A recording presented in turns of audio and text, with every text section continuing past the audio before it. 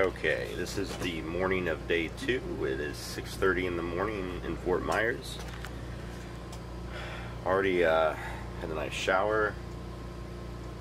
Slept about four hours. And we're going to try to get through the entire Lake Okeechobee today. And up the east coast somewhere. So, here's my cool setup. And I'm doing a pre, pre-trip hookah. Matt's still asleep downstairs. We had some awesome ribeyes last night. And day one, if you're ever thinking about doing a trip in a carver, I have a couple uh, pointers. Pointer one, don't try to go 16 knots. Your best cruising speed in a uh, boat this big is about 8 knots to get a little over 1 uh, mile per gallon. Two, don't go in rough seas. We beat the storm yesterday, and there's not going to be any storm today, um, but we were booking it. Um, we just went out of Tarpon Springs and decided to head straight south, and it was pounding us. So, don't do that. Uh, we went in the Sarasota area, um, and then we made our way down to Fort Myers, and we we actually spent 17 hours driving the boat yesterday from 7 a.m. to just about damn near midnight and it's 6.30 now. The locks open up at um, around 7 o'clock so I'm letting Matt sleep a little bit. We have plenty of time where we need to be. So uh, I'll give you some footage when we're uh, when we're on the way. Cool just left anchor. We're going to uh, the first lock, the Franklin Lock, and there's uh, Fort Myers behind us. So uh, we're definitely on our way.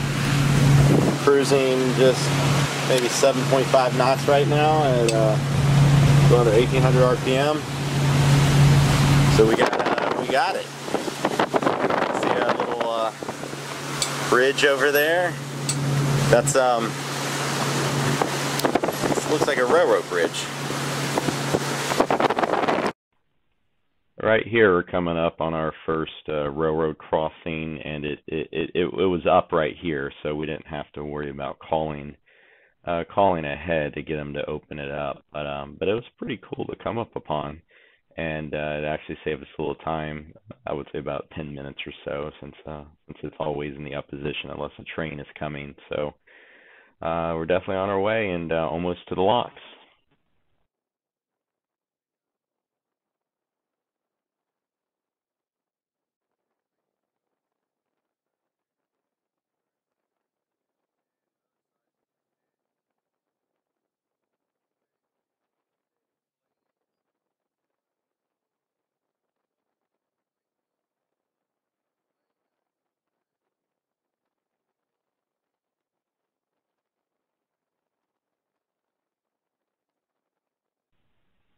This is our one of our last probably last uh big bridge out of Fort Myers and and we're definitely in the river right now. Um and the lock is it's not too far away. So uh it was it was it's always it's always nice to go under these bridges and um just hear the hear the sounds of the cars going over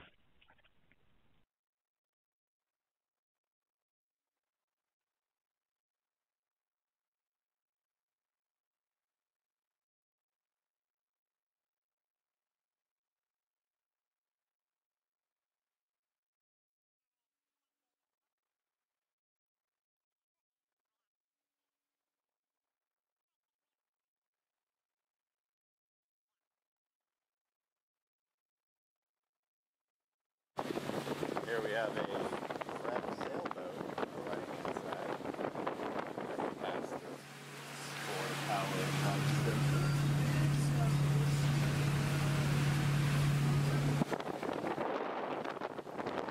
And uh, we're basically uh, following this guy to the first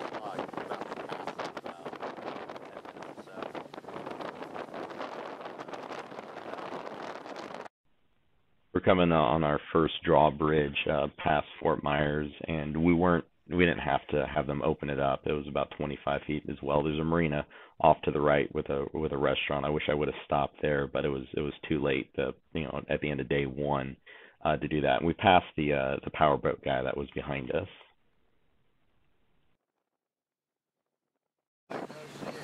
We're currently past the first lock, and all of a sudden, we come across another carver.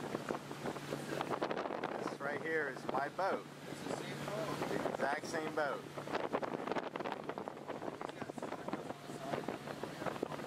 Yeah, it goes all the way back. That actually might be for sale.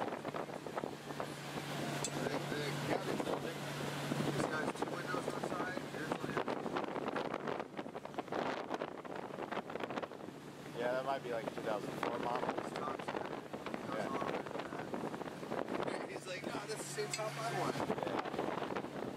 That's the same top. man. Yeah, I wish I had that top. It is the same. boat. They're probably like, you stole your boat. You stole your boat.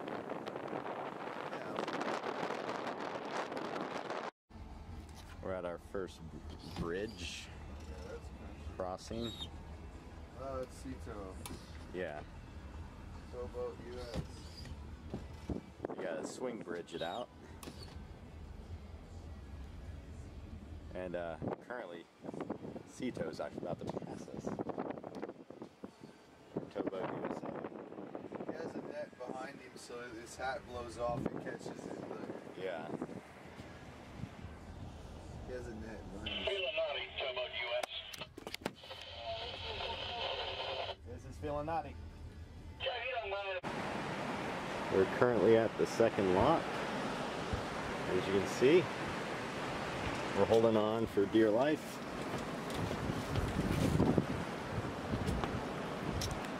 It's not that bad. We only open up a little bit to let a little bit of water come through.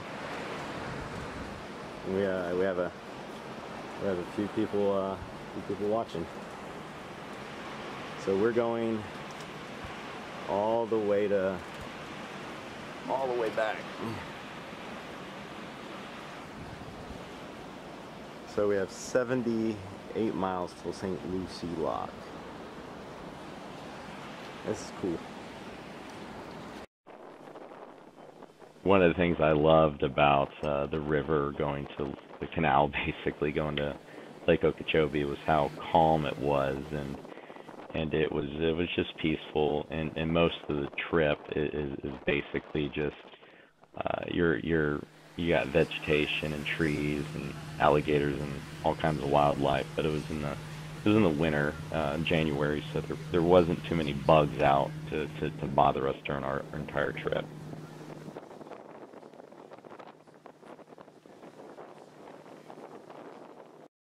So we're at Moore Haven Lock. This is the uh, lock to get into Lake Okeechobee. And he's closing it right now. And we're gonna have uh, a gush of water coming through. Gotta, gotta have your life raft.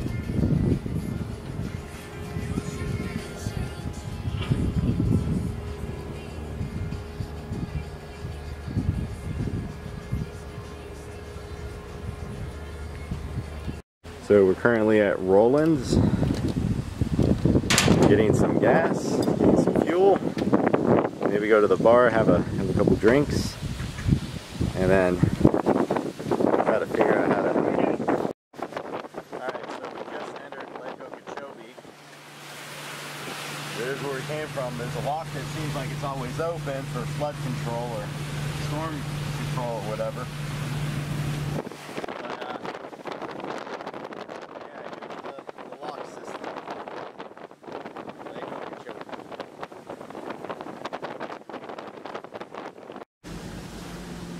We're now in Lake Okeechobee, uh, making our way through the uh, to the initial um, markers, basically going uh, going eastbound, and then we, you know, it curves around later on in the next clip. But it's it's definitely getting colder out, and uh, over the next couple days, it's going to be freezing. You see Matt there with his uh, jacket on, trying to stay warm. Right side's the red, right? Yeah. I know.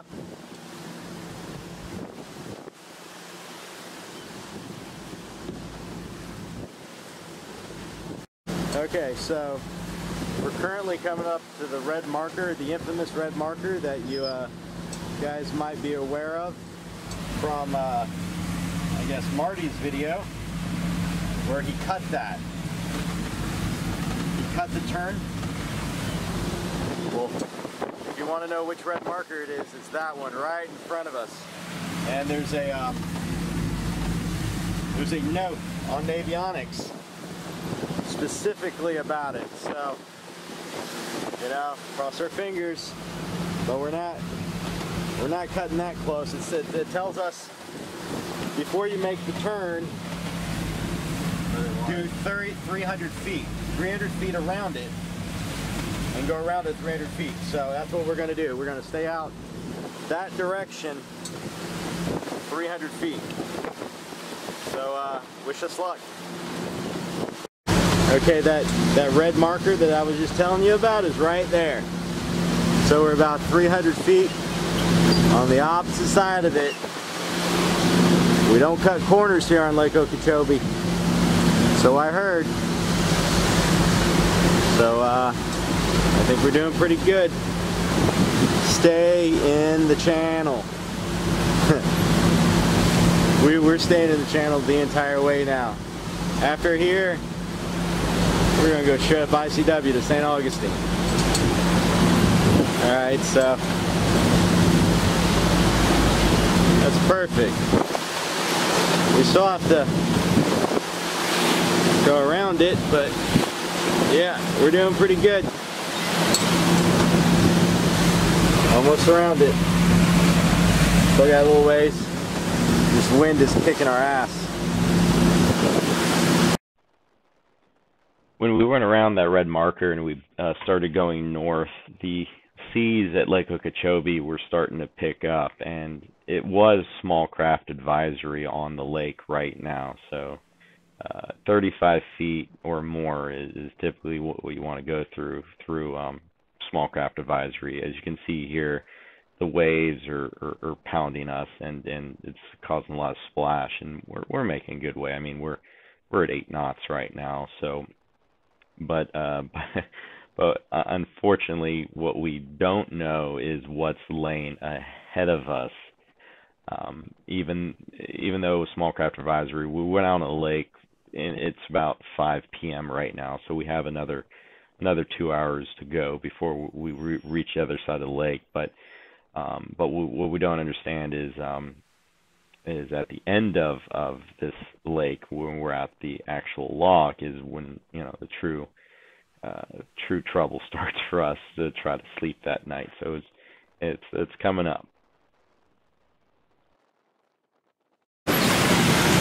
This is Lake Okeechobee and it's currently kicking our ass. We got sunset coming.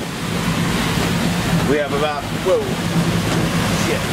We have about eight nautical miles left.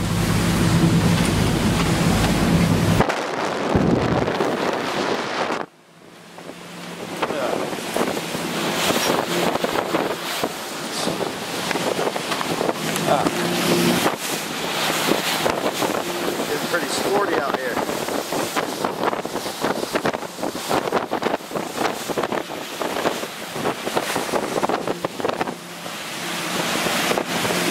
Hanging off for dear life. but it's good sunset. Yeah. I don't recommend anybody do Lake Okeechobee during small craft advisory or any time in the winter for that matter. Uh, a little cold. We got it. Taking a helm. Oh, this is nice. Whoa. So, this is an example of what I got to do the whole line. Just like that. and hopefully I don't drop this thing. That's pretty badass back there, guys. That's what it's all about. Should be by about uh, eight miles, eight miles to go.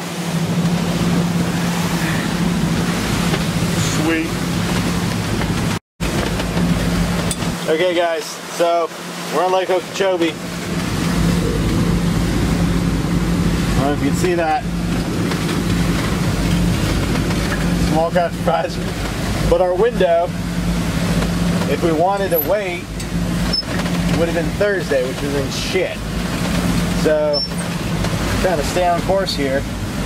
Shit's pushing me everywhere. Uh, this isn't a small craft, as everybody knows.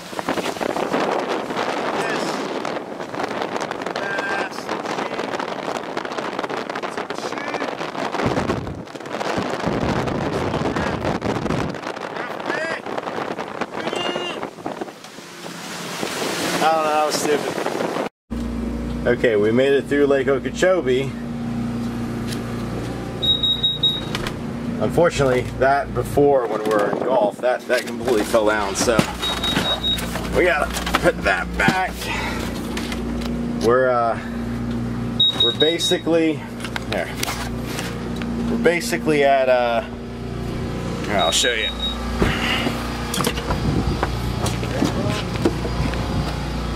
at the lock. Can't really can't really tell behind me. That's uh, Port Maya Mayaca, or I don't know. The other side Lake Okeechobee. It was crazy.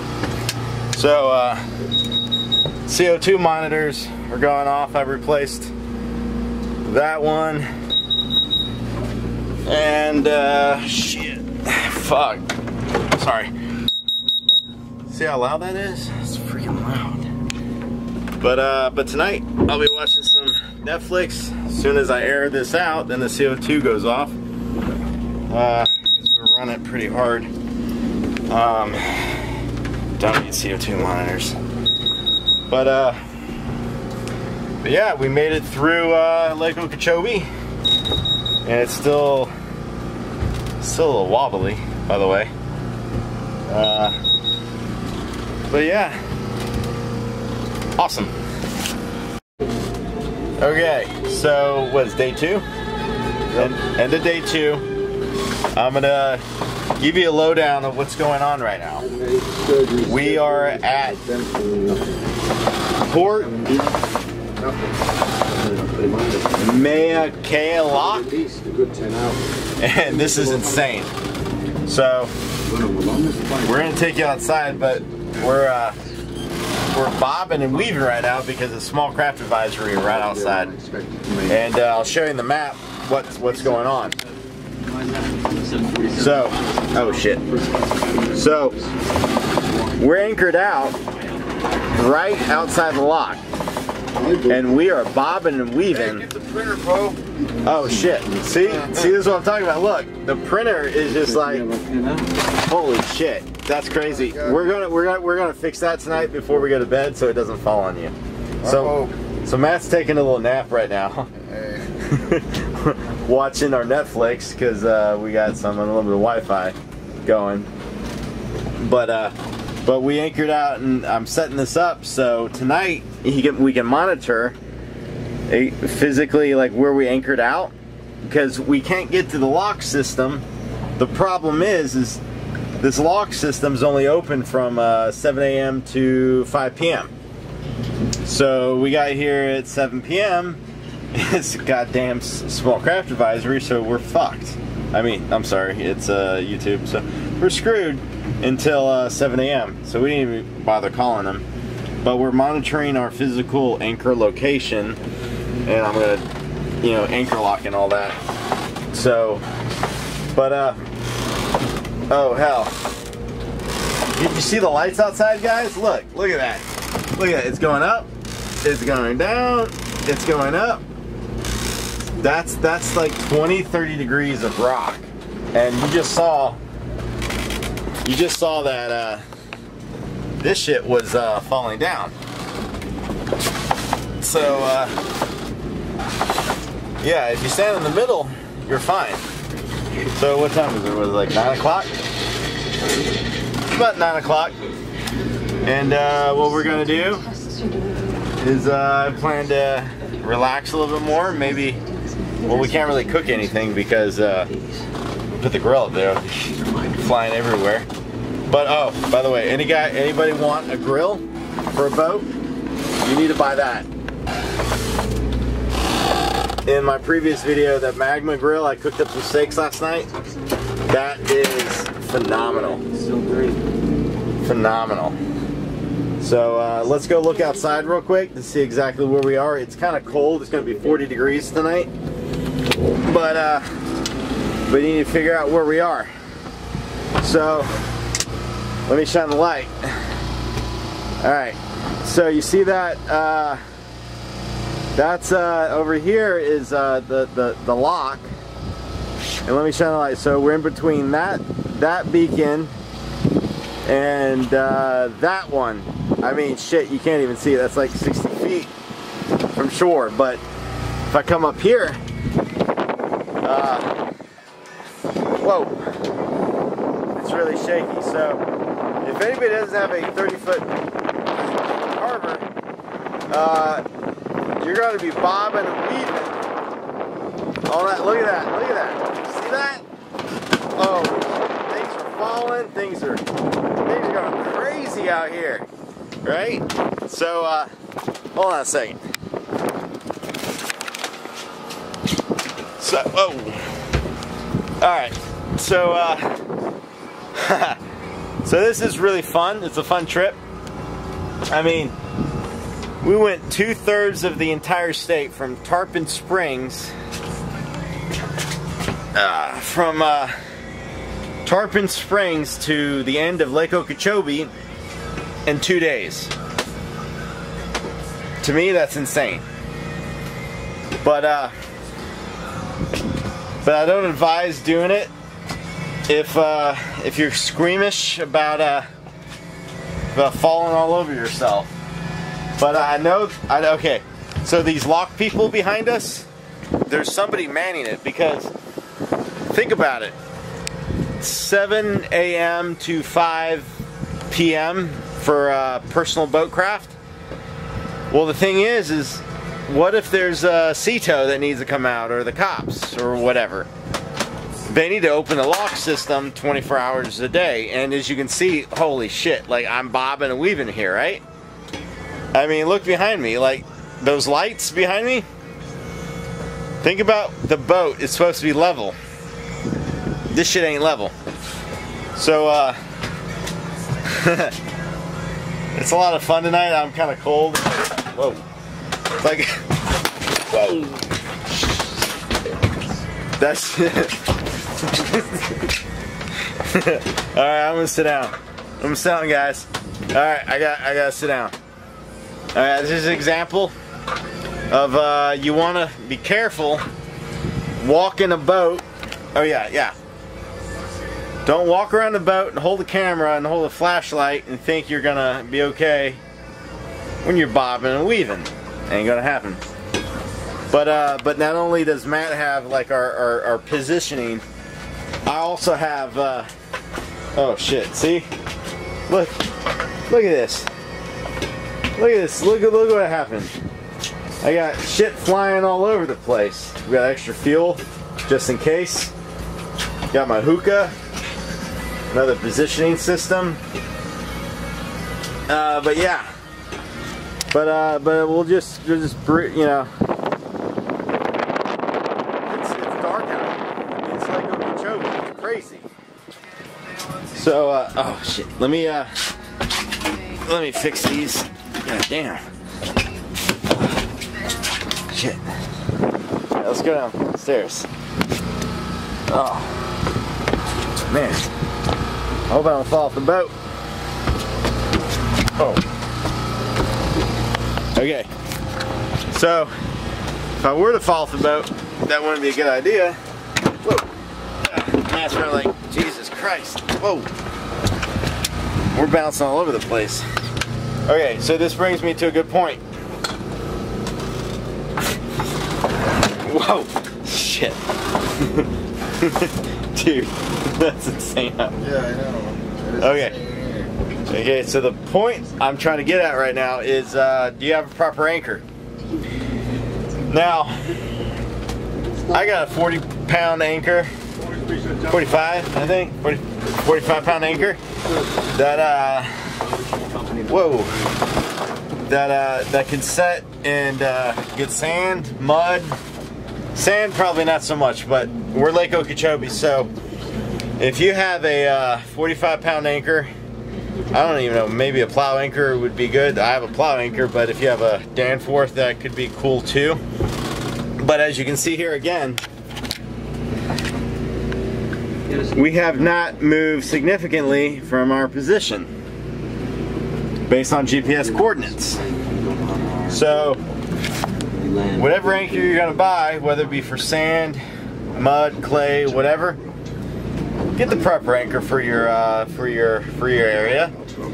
And uh, I can tell you something: a 45 pound foot anchor in sand ain't shit. when the beach, when the if you're trying to beach it, well, not beach it because I did that already. That's another story. um, when you try to get close to shore, uh, the storm rolls in, you're going to be your anchor's going to be all over the place. So get the right anchor for your for the sediment that you have, and always carry extra anchors. I got three. Got a back anchor. I had two front anchors just in case. So uh, just in case, you know, do things. We're going to be here. I'm going to be. Oh, wow. We got we got we got some Netflix going with Inception. We're uh, bobbing and weaving here, and I mean we're really bobbing and weaving. But uh, I will talk to you guys first thing in the morning. I'm gonna smoke some more hookah, maybe drink some more beers. This guy needs to wake up. I'm going to bed. He's gone to bed. Yeah. He's my co-captain. Um, but yeah, well, here's another tour of the boat. It's freaking messy as, hell. I mean, we got we got every we got we got everything for this trip. We got uh, shore power cords. I mean, all the beer, all the water. I mean, water just in case you know shit goes down. Um, oh, favorite. Everybody has to have something like this. You got to have some ice cream. You know, you have some mini ice cream, Bubba burgers, and tequila. You know, because every night you want to have, uh, you know, margaritas. Because this guy drinks a lot of margaritas. Absolutely. And, uh, oh, oh, by the way, when I do this, shit's gonna fall out. Watch this. This is what happens when sea is rolling and uh, you're not prepped for it. Okay, watch this. Uh, only my, uh, whoa. Okay, a few things, things are falling out. Oh, this is for tomorrow. I'm gonna have this Reese's whipped cream. So I'm gonna make this guy some eggs, Bubba Burgers, bacon tomorrow. But uh, we're all stocked up, and uh, tomorrow hopefully we'll be on the East Coast. But tomorrow morning, whoa. No, guys, seriously, I'm just not. I'm not doing that. That's really, that's really what's going on right now. And uh, see the lights outside. That's no joke. All right, talk to you guys soon.